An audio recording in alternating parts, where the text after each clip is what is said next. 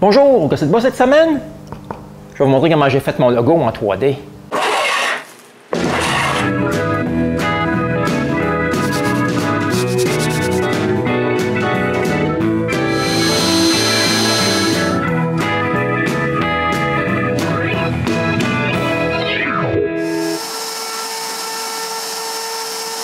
j'utilise pas mal ma machine CNC.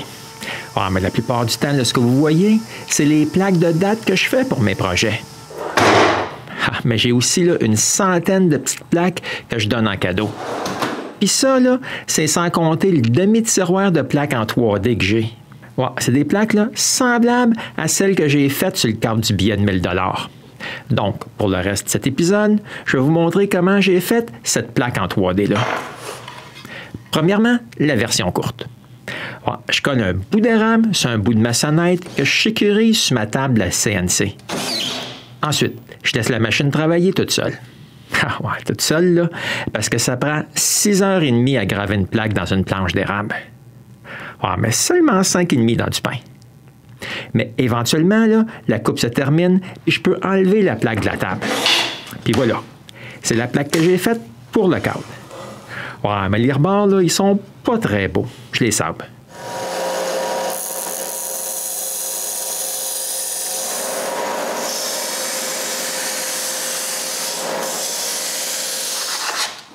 Après un petit sablage à la main, c'est fini. Bon, ça, c'était la version courte.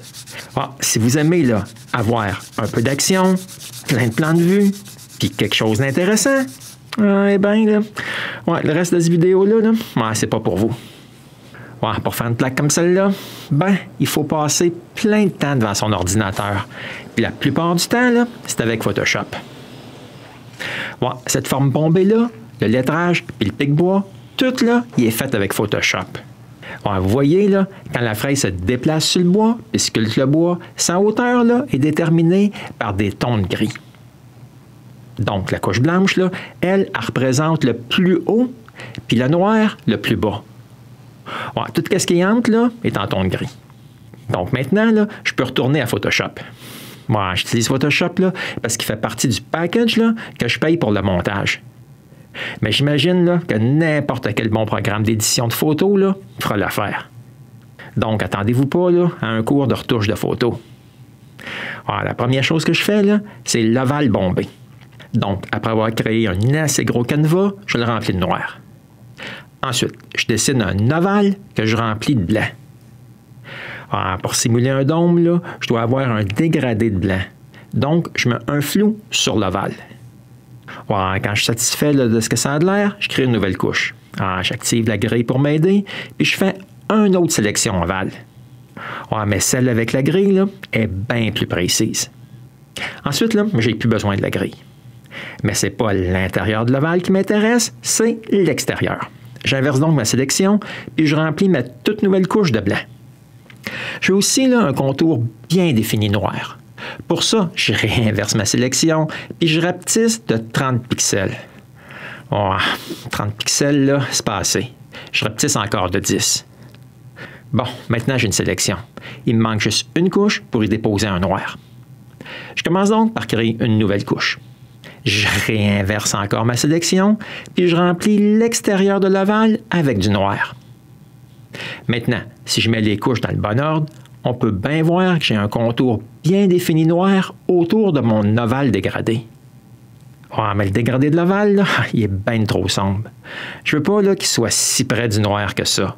Sinon, la plaque sera bien trop mince ses côtés. J'applique donc un filtre pour changer l'exposition, puis j'ajoute un décalage. Puis maintenant, on peut bien voir une bonne différence entre le noir et le rebord de l'ovale. Ah, puis si je promène mon curseur partout, là, je vois bien les valeurs du dégradé. Puis c'est exactement ce que je veux. Mais maintenant, il faut que je crée mon lettrage. Pour ça, je fais une copie du dégradé que je déplace en haut de la pile. Ensuite, je crée une autre couche pour mon texte, puis je l'écris. Pour bien le centrer dans l'aval, je cache la copie du nouveau dégradé. Ouais, mais le texte est bien trop petit. Je le grossis à la grosseur que je veux, puis je le centre. Ouais, mais là, je veux pas un texte noir, là, parce que ça, c'est la profondeur la plus basse. Je déplace donc le texte sous la copie du dégradé et je dis que je veux que le dégradé utilise comme stencil la couche du bas. Puis maintenant, j'ai mon texte par-dessus tout. Ah, mais c'est pas très évident là. Donc, je refais comme auparavant et je change l'exposition de ma couche du texte. Puis comme par magie, j'ai maintenant un texte qui suit la courbe de l'ovale principal. j'ai le texte que je veux, là. Il me faut ensuite mon pic-bois juste ici à gauche. Pour ça, j'ouvre le tracé que j'ai fait. Ouais, mais j'ai un léger problème. Le tracé, là, il est bien trop large pour qu'il me soit utile. Je fais donc une sélection de couleurs, puis je choisis le noir. On voit ici ce qui va être sélectionné. Si je zoome, la sélection est bien plus évidente. Ouais, mais quand même, c'est bien trop large. Je modifie donc ma sélection et je la contracte un peu pour me retrouver avec une petite sélection au centre du tracé. Donc, pour continuer, je crée une nouvelle couche puis je cache l'original. Après, je peux remplir l'intérieur de ma sélection avec du noir. Ah, pour mieux voir, je zoome un peu. Puis voilà, maintenant, j'ai un tracé de mon pic-bois bien plus mince. Ça, ça va être bien plus facile à travailler. Ouais, mais pour pas avoir à tout refaire si je fais une bêtise, là, je fais une copie de cette couche-là, puis j'éteins les deux autres. Bon, maintenant, je peux dessiner mon oiseau. Vous vous rappelez sûrement là, que le blanc est la partie la plus haute. Bien, je veux que l'épaule soit la plus haute. Donc, je choisis du blanc. Ouais, mais pas un blanc parfait, là, parce que ça me nuirait plus tard. Je fais une sélection de l'épaule, là, puis je la remplis de blanc. Maintenant, je veux que cette partie-là soit plus basse. Donc, je la sélectionne, choisis un blanc un peu plus sombre, puis je remplis la sélection, tout comme pour l'épaule. Je fais la même chose pour toutes les autres parties de l'oiseau, avec des tons de gris différents pour chaque sélection. Selon la hauteur que je veux pour chaque sélection. Ça prend un petit bout de temps, mais quand j'ai fini, j'ai pas vraiment fini. Maintenant, je dois faire disparaître toute trace de noir. Parce que vous savez là, maintenant que le noir, là, il sera la partie la plus basse de toute la gravure plus tard. certaines parties là, sont plus faciles à faire disparaître que d'autres. mais j'utilise pas mal toujours la même technique. Je commence par sélectionner le noir, là, je le remplis avec sa couleur adjacente. Mais quand c'est plus compliqué, là, comme ici, je commence par dessiner sur le noir pour l'isoler du reste.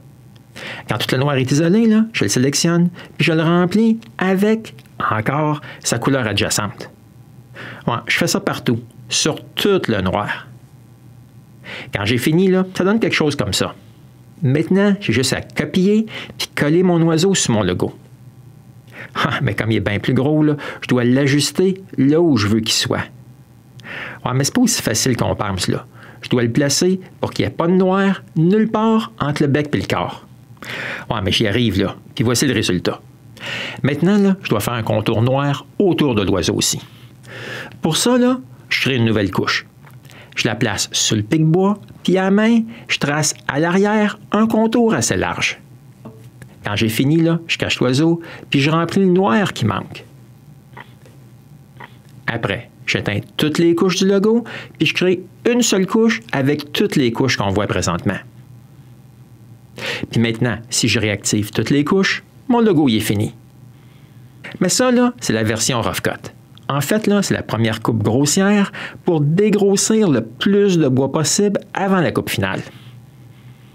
Bon, le dessin de la coupe finale, là, il est pareil, mais je garde moins de noir autour de la plaque. Donc, je fais comme j'ai fait plusieurs fois auparavant, je sélectionne le blanc, j'inverse ma sélection, je transforme ma sélection en la rapetissant, je crée une autre couche et je remplis l'extérieur de blanc. Puis maintenant, j'ai deux dessins. OK, pas mal semblable, mais ils vont me servir les deux à fabriquer ma plaque. j'ai juste à sauver deux versions. Une avec un large contour noir et l'autre avec un contour mince. Ensuite, c'est le temps de changer de programme. Pour créer le fichier que le CNC va reconnaître, j'utilise le programme DMAP2G-Code. ça, c'est un programme gratuit écrit en Python. Et si vous voulez, vous pouvez, comme moi, lui faire des modifications. c'est pas trop compliqué, là. J'ouvre l'image que j'ai créée avec le contour mince. On le reconnaît mieux en plus gros. Puis après, là, je change une coupe de paramètres pour mes besoins. Premièrement, là, la hauteur que la plaque aura selon la dimension de l'image. Ensuite, je m'assure que la profondeur là, est bel et bien le noir. Parce que mon dessin là, il été fait avec le noir comme la profondeur la plus basse. Après, là, je peux changer l'origine. Bah, je laisse l'origine là, au coin inférieur gauche. Après, là, je peux choisir si je veux couper le blanc que j'ai mis partout autour. Ah, mais comme je ne veux pas le couper, je laisse la case décochée. Puis je choisis quelle profondeur qui ne sera pas coupée. Je garde ça généralement assez bas comme valeur. je veux que les parties hautes ne se confondent pas au blanc pur. Ensuite, de l'autre côté, je choisis la grosseur de la mèche de toupie que je veux utiliser, puis sa forme. Ensuite, là, il y a des choix à ces mouvements. J'aime bien juste couper là, en rangée, en va-et-vient. Je laisse donc ça comme ça. Ensuite, la vitesse de déplacement. Plus le bois est dur, plus la vitesse devrait être lente. généralement, quand je coupe du pain, je peux aller bien plus vite que ça. Ensuite, je choisis la distance du chevauchement entre les passes. Ici, on peut voir là, que c'est 10% de la grosseur de la mèche. Ce qui veut dire que pour la largeur de ma petite mèche, là, je déplace mon chariot en Y 10 fois pour atteindre sa largeur. Je choisis aussi la hauteur de déplacement du chariot au-dessus du bois sans rien couper. J'aime bien garder cette valeur-là assez petite là, pour que les déplacements là, soient plus rapides. Puis finalement, l'épaisseur de coupe. En fait, là, dans mon cas, c'est la hauteur entre le noir et le blanc. Puis quand toutes ces valeurs sont bien à mon goût, je peux créer le fichier G-code. Ouais, c'est assez long. Donc, pour ne pas perdre de temps, mon ordinateur, lui, il est facilement capable de calculer la passe de dégrossissage en même temps que la passe finale. Je pars donc un autre instance du programme et j'ouvre le fichier pour lequel j'ai un contour plus large. Mais après, là, j'ouvre la fenêtre des paramétrages de dégrossissage. Ouais, c'est pas mal semblable à ce que je viens juste de faire. Ouais, mais par contre, là, j'utilise une mèche quatre fois plus grosse. les deux plus grosses différences sont qu'à la place de déplacer le chariot de 10% du diamètre de la mèche, je le déplace d'environ 40% Puis comme c'est une passe de dégrossissage, je choisis la profondeur de chaque coupe. Quand tout là, il est comme que je veux, je le fichier et je vais faire d'autres choses. Parce que ça peut prendre encore pas mal de temps. Mais éventuellement, là, c'est fini je peux prendre les fichiers G-code qui sont créés et à découper une belle plaque. Ouais, mais c'est pas une bonne idée parce que j'ai probablement fait une erreur et je veux pas avoir à attendre 6 heures pour l'avoir. Donc, c'est le temps d'utiliser un autre programme. Ouais, Camotix. Ce programme-là, il transforme un fichier G-code en une représentation 3D sur l'ordinateur tout ce que j'ai besoin de faire, c'est d'ouvrir le fichier de dégrossissage que j'ai fait, là, puis voir ce qu'il va faire. je peux regarder une animation de ce que la machine CNC va faire. Moi, mais c'est plus le produit final qui est important. Mais la passe de dégrossissage, là, elle ne me dit pas si ma plaque finale sera regardable ou pas. Donc, change le fichier pour celui de la dernière passe finale. Mais comme dans ma dernière passe, j'ai calculé, la mèche était plus grosse, ah, c'est pas regardable. Pour changer la grosseur de la mèche, je charge un fichier que j'ai fait à la bonne grosseur de mèche, puis je refais les calculs. Ah, j'ai une bien meilleure idée. Ouais, mais encore une fois, là, je dois faire des changements pour avoir une bien meilleure représentation du produit final. Puis maintenant, je vois bien de quoi ma plaque aura l'air. Ah, c'est pas si pire que ça. Mais je vois plusieurs problèmes tout de suite. Premièrement, j'aime pas comment que les étages de couleur de mon moineau paraissent parce que j'ai oublié d'appliquer un flou sur l'oiseau quand je l'ai fini. Mais le pire, c'est l'espace entre certaines lettres qui sont trop petites, puis elles seront même pas coupées. Moi, à ma place de retourner pour corriger ça, je vais juste charger le fichier que j'ai actuellement utilisé pour la plaque elle-même. on voit bien là, que le pic-bois est différent. J'ai aussi modifié toutes les lettres qui me donnaient des problèmes. Maintenant que je suis satisfait avec la simulation, c'est le temps de sculpter la plaque elle-même. Moi, avant de sculpter une plaque, j'aime bien avoir une belle surface bien droite. Ah, c'est pas mal plus facile.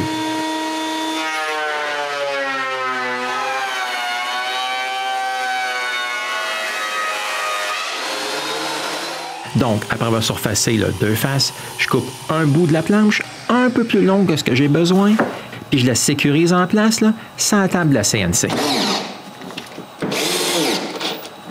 Après avoir pris le temps de débrancher la toupie, je peux mettre en place la plus grosse mèche. Celle qui va là, dégrossir ma plaque.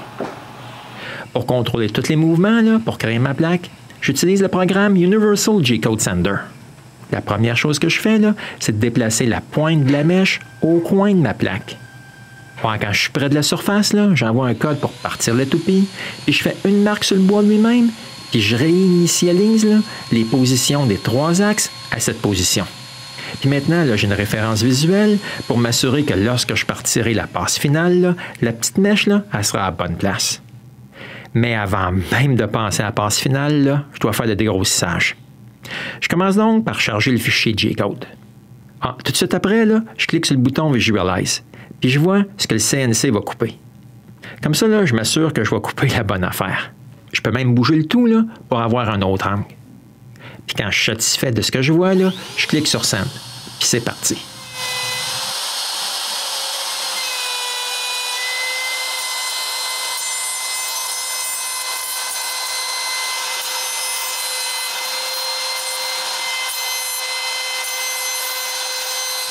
Pour une plaque comme celle-ci, la pince, le dégrossage, environ un peu plus d'une heure. Ensuite, je change la mèche. Donc, après avoir débranché l'alimentation, je déplace le chariot et je mets la plus petite mèche. Ensuite, grâce à ma marque du début, je vérifie si je suis bel et bien à zéro. Moi, je vois là que je suis un peu à côté. J'arrange ça. Je touche un peu la surface, je rebranche la toupie, puis c'est parti pour la passe finale.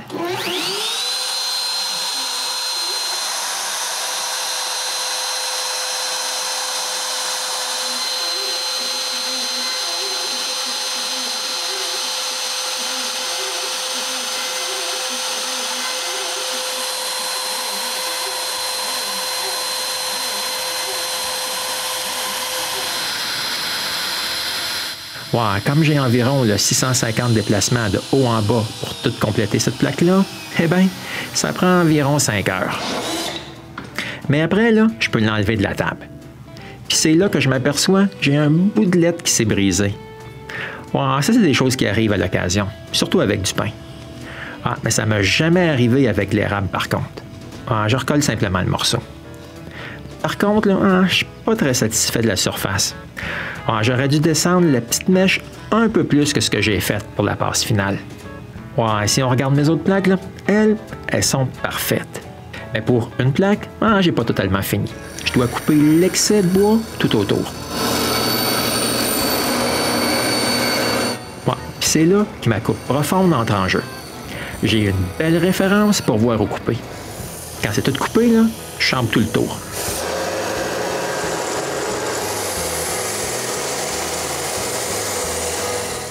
Voici une plaque terminée. J'en ai encore une bonne gang à finir. Bon, c'était la version très longue de comment je fais une plaque, comme celle que j'ai faite avec mon CNC. J'espère que je ne vous ai pas trop ennuyé. Comme ça, vous voudrez peut-être encore revenir me voir au gosse de bois.